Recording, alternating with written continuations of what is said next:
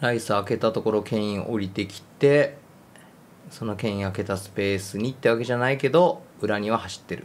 いや今大会ケインそんな降りてないっすよ。裏抜けは少ないんだけどね。降りも別にしてないというだからプレー関与してないっていう言い方なら正しいね。むしろ裏抜けしない方だったら降りてきて他の選手に裏抜けというか入れ替わって高い位置でボール受けさせるようにした方がいいしケインに関しては降りてきたところからのビルドアップが得意な部分があるからね。参考にしてる選手ブスケツっていうぐらいだからな。そうだからこれさあの3センターで2シャドウと上がり目のボランチ。だからあのベリンガム、えー、っとフォーデンメイヌをケアしてんじゃん。だからケインが降りていくとその3センターじゃケアできない選手になるからチャンスなんですよ。だからケインはもう降りるだけ降りた方がいいよ。でケイン降りたところについてくる人いたら逆にそのマーク疲れてる3人が裏抜けたらマークの背中取れるからより一層不利になるし。ポイントはケインが降りるかどうかっすね。降りない方がいいって思われがちだけど3人ともマンマーク使えてるからあだからこういう時降りるのうまかったのね。さあ誰を言うでしょう？レオザフットボール TV ずっと見てる人ならここで俺が出す名前わかると思うんだよな多分。そうサマンサ君フィルミーノ。そう。フィルミーノは降りる時降りんのうまいんだよね。イスコだと今じゃないっていう時降りんだけどフィルミーノだとそう今っていう時降りんだよね。ジルーはねその時期結構前張ってるんだよ。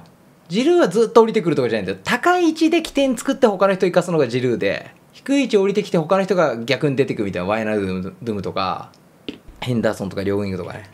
そこちょっと違うんで最近だとそれハバーツとかね。あとモラタとかかな。でもフィルミーノほどなんかリズムで降りてこれる人はいなかったですあベンゼマもどっちかというとイスコミありますけどね。ただベンゼマに関しては前行った時の得点とかサイド流れた時の突破とかそう理不尽さがあったからね。そうだベグホルストが前プレーかけながらこのえっ、ー、とあの人ライス消すでしょ？でシャビシュモンズは右サイドを抑えながら中を抑えてっていう一人二役やんなきゃいけないからちょっと無理出てくるし。マジケイン降りてきて1回散らしてサイド深い位置取ったらゴール前入ってくってやったらめっちゃうまくいくと思う。そうなった時にみんな興奮してくれるからやってくれ。ほらねっていうやつ言えるからやってくれ。そうその近くにいるとねデフライ楽なんだよそれ。デフライがついてくかどうか迷うぐらいまで降りてほしいんだよな。そうそう今ホーデンが開けたとこそれそれそれそれ。でホーデン自分でいけちゃうけど一回ケイン使おう。一回ケイン使おう。そう。そう。いやもう一個ぐらいうまくいくと言いやすいな。今のでも十分いい感じじゃん。分かったでしょ今の。今のうまくいきそうだったでしょすごい。ね。今の抹茶伝わった。いいね。千利休ぐらい深みあったってことだもんな。さあケイン頼んだ。ベニガムさんうまいっすねって感じだったね今のライスの。そうっすよそれっていう。でフライがついてくんの迷うとこまで降りたいね。栃木戦でおさん入れました。ごめんね。次頑張るわ。やるだけのことはやったから。とホームワークだった判断難しくなるしただこのオランダがやってるシステムって5バックみたいなもんなのよ。あの横埋めてくれるから。だからこそ高い位置いると潰されやすいから。勘で見て簡単には言ってないですね。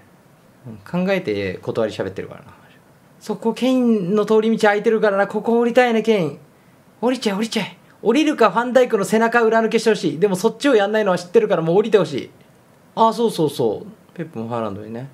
おファイブタッチで5点取りゃいいって言ってて。いやそれじゃダメなんだっていう。受けに来るから相手釣り出して逆に他の選手がスペース使えるからね。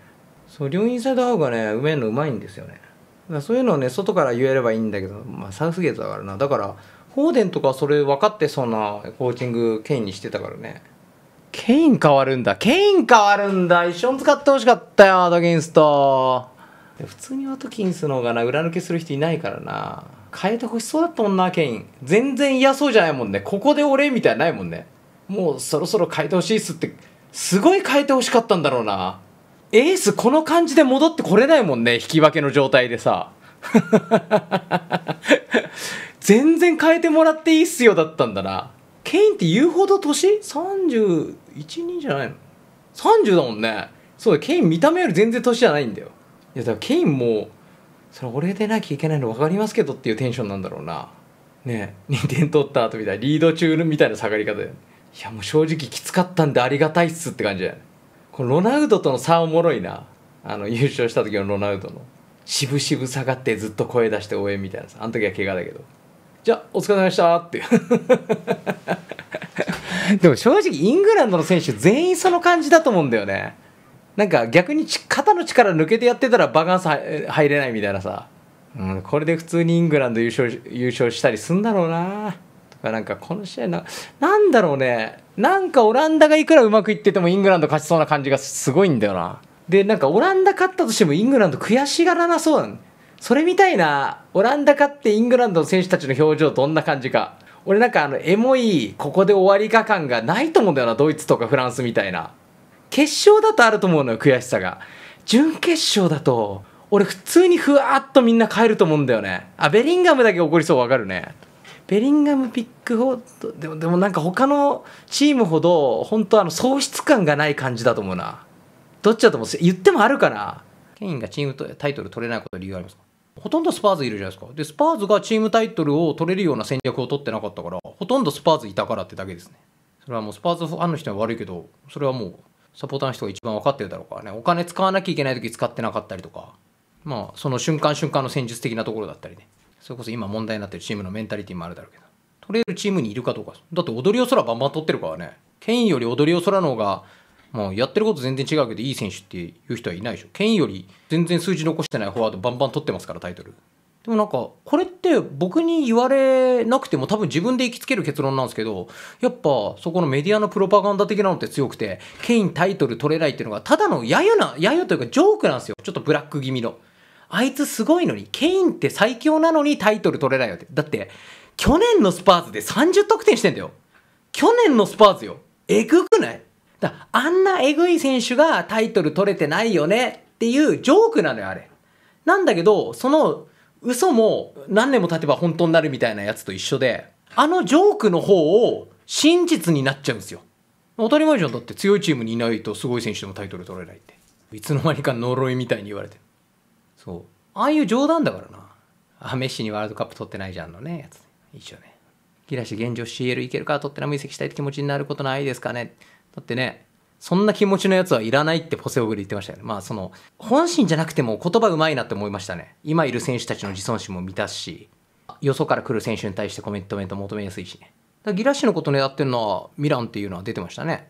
あとは、スパーズがどのぐらいお金出すかとか、それこそ、ポステゴグルーは、補強必要って言いますよね。基本的にポステゴグルーのやるサッカーって相手より質上回ってて、ね、成立するサッカーだから。なんだけど、今までのレビーの歴史上、スパーズの会長の歴史上、ケイン放出してね、あれだけ選手取れたけど、じゃあさらなる補強できるかどうかっていうとね、それしてくれる人だったらポチェッティーノの時にタイトル取ってる可能性ありますから。あのケインってさ、タイミング考えて降りてきて、その降りてきてる選手、け降りてきてるケインに、ケイン降りてきます、捕まえようとします。この空いたところのソン・フンミンがあるじゃん。ここで受けて失わずに裏に出せるんで、これをね、リシャルリソンじゃできないから、タイミングも悪いし失うし、そこよね。リシャルリソンあの、不器用なミュラーというか、守備とか頑張るんだけど、いろいろちょっと足りてない感じ。ケイン深くまで落ちるの好きだって先日の試合がはっきり言ってました。ああ、バイエルの。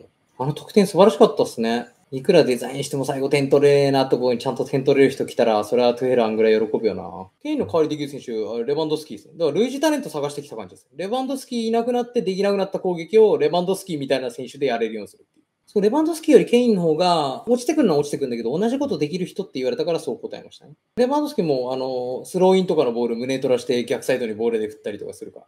だからレバンドスキーもケインも、てかいいストライカーってさ、あれなんだよね、点取られてサッカー上手い選手になるんだよね、普通に。一番プレッシャー激しいところでさ、みんなが防いでくるところ、塞いでくるところをさ、こじ開けなきゃいけないから。ソン・フンミンのトップどうだ昔見た時そんな良くなかったけどあれ？でもあれ、ケンいない時ソン・フンミントップで良かった時期あったか？ケンいないけどソン・フンミンがトップでなんとかしてた時期もあったよね。僕もリシャルリソントップよりは、ソン・フンミントップでペリシッチョンが見たいけど、でもリシャルリソンにかけた金とか若さとかで言ったらね。あれ、ど、ソン・フンミントップって全然ダメだったっけ？なんかソン・フンミントップで頑張った時期あったよね。あ、そうで、ソン・フンミントップで結構良くて、で、最初ね、ケインとソン・フンミンがそんなうまくいかないんじゃないかみたいに言われた時期あったんだよ。そう、ケインがアシストマシンになる前に、ソン・フンミンとそんなに相性良くないなってされてた時期があった。いや、ジョレンテはね、なんか、ケインいない時のトップみたいな感じだった。結局、ジョレンテもあの、もう一人いたじゃん、オランダから来たさ、ヤンセンだっけ？あの辺とか結局あんまハマんないんだよね。なんか、なんかスクランブル状態の時に使ったりはするんだけど。私、レオザフットボールが監督を務めるシュアーボ東京では、毎週水曜、金曜、19時間の練習でセレクションを開催しております。場所は都内近郊。シュアボ東京で25万人以上に見られながら、報酬をもらって本気でサッカーしませんか？多くの関係者が見るチャンネルですし、シュアボから J リーガー輩出を目指す僕らとしては、ステップアップも大歓迎です。概要欄の URL からのご応募、お待ちしております。